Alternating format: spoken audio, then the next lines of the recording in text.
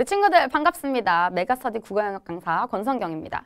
자, 이제 겨울방학이 다 가고 있는데 다들 국어 공부 열심히 하고 있나요? 아마 많이 한 친구들도 있고 그렇지 않은 친구들도 있을 것 같아요. 근데 국어는 뭐 많이 하나, 조금 하나 굉장히 불안한 건 매, 매 마찬가지죠. 요새 선생님이 좀 질문을 받는 게 어, 예비 고2 애들한테 질문을 좀 받는 게 선생님 2학년이 되기 전에 걱정이 많은 거지. 2학년 되기 전에 어떤 걸 좀 공부를 하면 좋을까요? 뭘 하면 좋을까요? 이렇게 질문을 하는 친구들이 좀 있어요. 그래서 쌤이 이번 시간에는 그 내용에 대해서 좀 얘기를 해보려고 해요.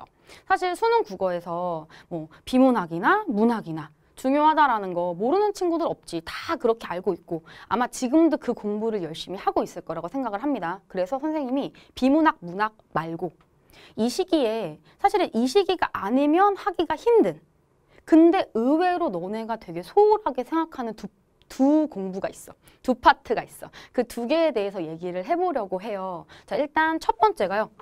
자, 첫 번째. 고전시가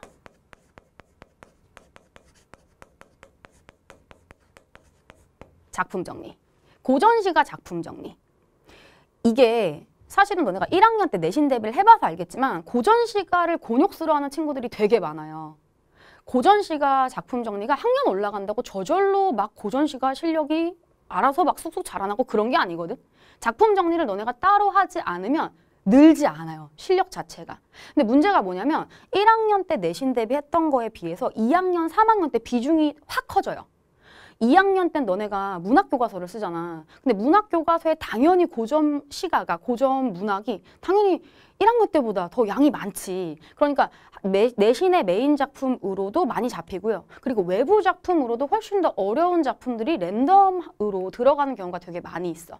그러다 보니까 이게 고전 시가 작품 정리를 한 친구들과 안 한 친구들이 내신에서도 실력 차이가 막 벌어지는 그런 양상이 벌어진단 말이야. 그리고 이게 고전 시가 작품 정리를 하잖아. 그러면 어, 내신에 대한 선행도 되면서 동시에 모의고사까지 같이 잡을 수 있어요. 사실 국어 영역 중에서 어, 내신 하면서 동시에 국어 영역 그 모의고사까지 잡을 수 있는 파트가 고전시가랑 문법밖에 없거든. 이게 두 개가 같이 연동돼 있어요. 고전시가 같은 경우에는 모의고사에서도 거의 내용 해석 문제를 물어볼 때가 되게 많아요.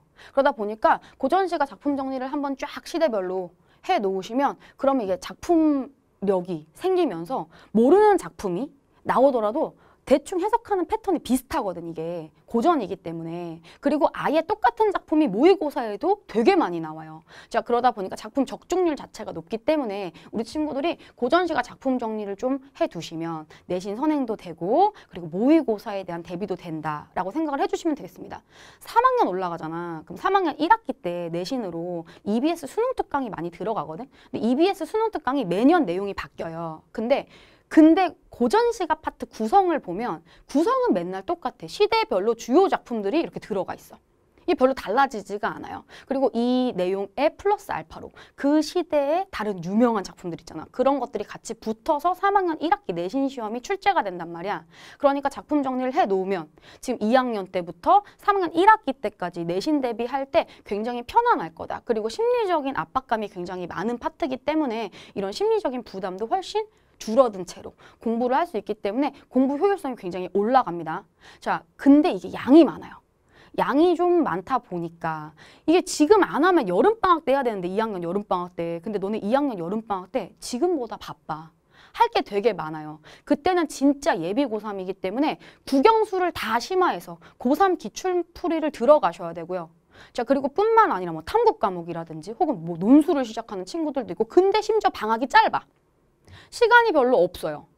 자 그러다 보니까 이게 아, 마음의 부담이 엄청 있어서 아이, 무슨 고전 시가 작품 정리야 아예 생각도 안 해요 그때는 그러니까 지금 이 시기에 틈틈이 시간을 내서 하루에 몇 작품씩 좀 정리를 해 주시면 너네 남은 2학년, 3학년 이 시간이 엄청 수월해질 거야 알겠지? 자 그럼 어떻게 정리를 하시냐면 시대별로 대표적인 작품들이 정해져 있어요. 작품 고전이다 보니까 바뀌는 게 아니잖아. 그래서 어, 주요 작품들을 문제풀이까지 하라는 건 아니에요. 주요 작품 해설. 또 해설을 외우라는 건 아니에요. 그래서 한 번씩 해석해 보시면서 아, 이런 내용이구나 내용을 익히라는 거고요. 뭐 시중에 이제 이런 해설이 잘 나와 있는 문제집을 활용하셔도 되고 또 문제집이라고 해서 문제풀이 얘기하는 거 아니야. 자꾸 해설집 얘기하는 거야. 그래서 문제집을 활용한다거나 혹은 인강. 이 해설하는 인강이나 이런 것들을 좀 활용을 해서 어, 좀 너네가 이걸 차곡차곡 공부를 해나갔으면 좋겠어. 보니까 문제집 뭐 괜찮게 나온 건 해설 잘 나와 있는 건 또 되게 잘 나와 있더라고요. 자, 그러니까 잘 서점 가서 한 번씩 보시고 한 권 선택해서 좀 봐주시면 좋을 것 같아요. 알겠지? 자, 그 다음에 두 번째. 두 번째 파트가 문법이야. 뭐 사실은 문법 중요하다 이거 모르는 사람 있습니까? 근데 의외로 어, 지금 비문학이랑 문학 하느라고 문법을 등한시하는 친구들이 꽤 많이 있는 것 같아요. 어, 문법은 나중에 해야지 뭐 이런 생각을 좀 하는 것 같은데 이 문법 공부의 중요성에 대해서 선생님이 다시 한번 짚어줄게. 지금 너네가 2학년이 되면서 교과서가 바뀌잖아. 2학년 교과서가 대부분의 학교들이 선택한 걸 봤더니 두 가지 케이스가 제일 많았어요. 일단 문학 교과서는 기본으로 선택을 한 학교들이 되게 많았고요. 문학에다가 독서를 선택한 학교들이 좀 많이 있었고요. 자, 아니면 문학을 하면서 동시에 언어와 매체. 그러니까 문법이죠. 엄매. 문법을 선택한 학교들이 되게 많았거든. 보통은 이거 아니면 이거. 자, 요렇게 많이 지금 어, 학, 그 교과서 선정을 한 것 같아. 근데 일단 문학과 독서를 선택한 학교들은 이건 좀 큰일 났어요. 이 친구들은 잘 들으셔야 돼요. 봐.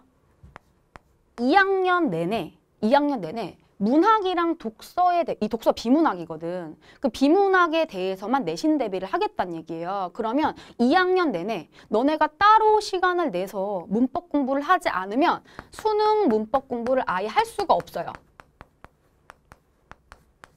근데 이게 얼마나 심각한 문제냐면 너네 3학 그 한 학년 선배들을 보잖아. 그러면 2학년 때 문법 내신을 하고 온 친구들 하고 3학년 올라온 친구들과 안 하고 올라온 애들의 실력 차이가 엄청나요. 심지어 뭐 이렇게 현장 수업 해보면은 내용을 못 따라올 정도로 기출 문제를 줘도 못 풀어요. 내용 공부가 안 돼 있기 때문에 문제도 못 푸는 애들이 되게 많단 말이야. 근데 너네가 생각을 해봐. 1학년 때도 내신할 때 되게, 되게 빡빡했지. 내신 스케줄 엄청 빡빡했잖아. 너네 내신 엄청 치열하니까. 2학년 때는 오죽하겠냐고. 2학년 땐 내신 범위가 훨씬 많아요. 1학년 때보다. 그리고 애들도 훨씬 열심히 해요. 그러다 보니까 내신 기간 때 완전 올인해서 하면서 내신 끝나고 나면 녹초가 돼.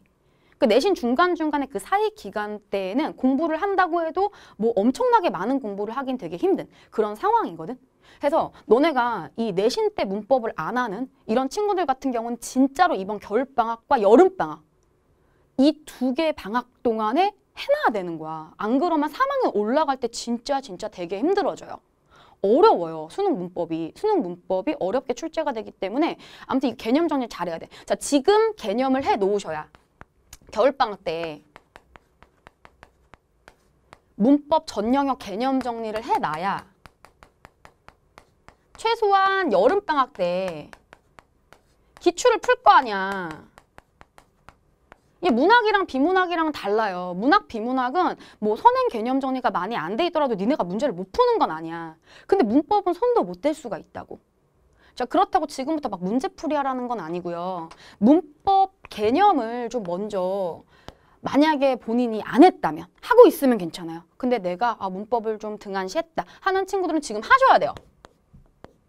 그리고 1학년 때 문법 범위 생각하시면 안 돼요. 1학년 교과서에 들어가 있는 문법 범위는 수능 문법의 일부분이 들어가 있는 거예요. 그러다 보니까 전체 영역 에 대한 개념 정립이 필요하다라고 생각을 하시고요. 지금부터 차츰차츰 해 나가셔야 여름방학 때 기출까지 플러스 해서 개념 완성을 한 번은 하고 3학년 올라가실 수 있어요. 알겠지? 그리고 문법은요. 3학년 3학년 EBS 수능 특강에 문법 파트가 있잖아. 그게 3학년 1학기 대부분 내신 대비에 들어가요.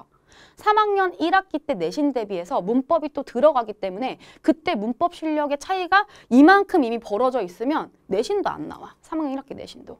알잖아. 3학년 1학기 때까지 내신 중요한 거. 그러니까 문법 요거는 이번 방학 때 개념 정리가 꼭 되어 있어야 된다라고 생각을 하셔야 됩니다. 내신에서 독서 들어가는 이 사실 이 내신 독서가요. 또 이게 열심히 거의 암기예요. 거의 암기다 보니까 되게 열심히 해도 모의고사 비문학과는 사실 되게 동떨어져 있어. 내신 대비로 독서 교과서를 하더라도 이게 모의고사로 내가 비문학을 되게 잘 풀고 이런 거랑 별로 상관이 없단 말이야. 그러다 보니까 참 아무튼 독서 선택한 학교들은 미리미리 학교 친구들은 미리미리 문법 공부 열심히 하시고요. 자, 그다음에 문학과 언매를 선택한 즉 이 언매가 언어와 매체가 문법이거든. 요렇게 선택한 학교들도 좀 있어요. 좀 많이 있어요. 보니까 공부 잘하는 학교들은 이렇게 많이 선택을 했더라고. 근데 요게 또 이제 장단점이 있어. 일단 내신에서 이제 문학과 문법을 동시에 다루다 보니까 반강제적으로 하겠죠? 문법 공부를 하겠지. 근데 문제가 뭐냐면 내신 문법이요.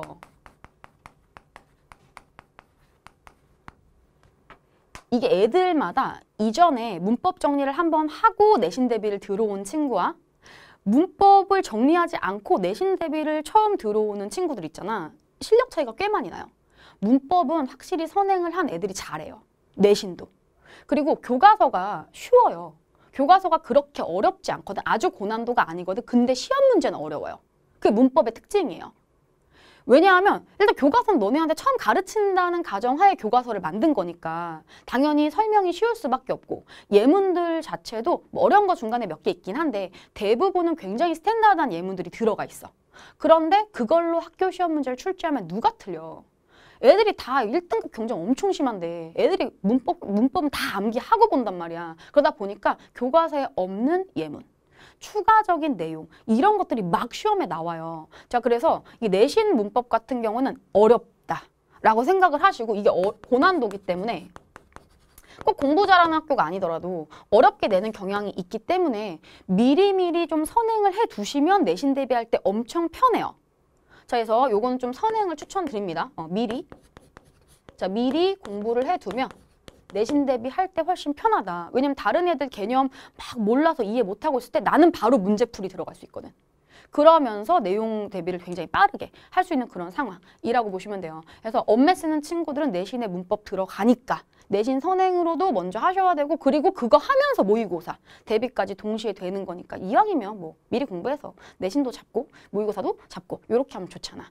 그래서 쌤이 지금 너네가 이 시기에 사실은 방학이 좀 많이 지나가면서 방학 처음 시작할 때 대부분의 친구들이 아 국어 모의고사를 안정시켜야지 그러면서 아마 문학과 비문학 공부에 많이 매진을 했을 것 같은데 그런데 지금 이 시기쯤 되면 우리 친구들이 좀 한번 돌아보면서 거기에 플러스 알파로 좀 추가할 만한 것들은 추가해서 공부를 하시는 게 좋잖아요. 자 그 두 가지로 고전시가 작품 정리와 문법 개념 전 영역, 수능 전 영역 정리를 말씀을 드렸습니다. 요거를 꼭 지켜서 공부를 하셨으면 좋겠어요. 근데 선생님이 이렇게 또 뭐 하라고 하잖아. 그럼 뭐 하라고 하면 되게 싫어하잖아. 가뜩이나 이렇게 바빠 죽겠는데 뭘 자꾸 하라고 하고 그리고 방학도 이제 끝나가는 마당에 막 빠른 계약이 빠른 학교는 1월 말에 막 계약을 하고 그러기도 하더라고요. 자, 1월 이 방학이 다 끝나가는 마당에 선생님 이거를 언제 합니까? 시간이 없어요. 라고 생각하는 친구들이 되게 많이 있을 것 같은데 그렇지 않아. 너네는 시간이 아직도 꽤 많이 있어요. 자, 생각을 해봐. 이제 2월이 있죠. 그리고 3월에 이제 3월에 학, 그 계약을 하잖아? 그러면 학교에서 진도를 엄청 천천히 나가요. 내신 진도를. 갑자기 막 폭, 폭풍으로 빼는 게 아니야. 폭풍으로 내신 진도를 빼는 건 4월이에요. 왜냐면 보통 4월 말에 중간고사가 있잖아? 그러니까 어 4월이 되면 각쪽 그 각 학교에서 마음이 급해져요. 학교 선생님들이. 그러면서 막 랩하듯이 수업을 막 하십니다. 진도를 막 폭풍으로 빼는 그런 상황이 벌어진단 말이야. 사실 3월까지만 하더라도 학교에서 진도 나간 게 별로 없기 때문에 니네가 내신 대비를 뭐 되게 열심히 하려고 해도 별로 복습할 것도 없어요. 그러니까 지금 이제 1월은 다 갔으니까 2월과 3월 두 달이면 이거 다 할 수 있어요. 지금 선생님이 얘기한 거. 어. 그래서 2월, 3월까지 그렇다고 이것만 하라는 게 아니라 문학, 비문학 지금까지 하시던 거 쭉 하시면서 거기에 플러스 알파로 추가해서 틈틈이 하루에 몇 개씩 뭐 이렇게 조금 조금씩 붙여가지고 공부 계획을 세워서 좀 틈틈이 차근차근 해 나가셨으면 좋겠습니다. 근데 선생님이 지금 얘기한 게 그냥 단순히 권고가 아니라 꼭 해야 해. 이렇게 해야 내신 1등급도 받고요. 나중에 3학년 올라갈 때 국어 안정적인 1등급이 나올 수 있어요. 그러니까 이거 두 개 꼭 잡고 가야 된다라는 거 생각을 하셨으면 좋겠습니다. 자, 그럼 오늘 고2가 되기 전에 반드시 해야 할거 명심하시고요. 선생님이랑은 또 다른 캐스트에서 만나도록 할게요.